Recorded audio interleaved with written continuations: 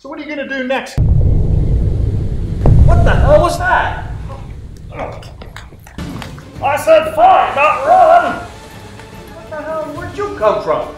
Who the hell are you, buddy? Who the hell am I? I'm the one running from that. The real question is, who are you? We're just here sitting, jotting a few notes down, and, and, and going to our retiring lunch. Oh, well, if you are going to a retirement party, you know I have something much more better. Come aboard my vessel, and it's that much more fun with all the drinks I'll be bringing. I'll see you there.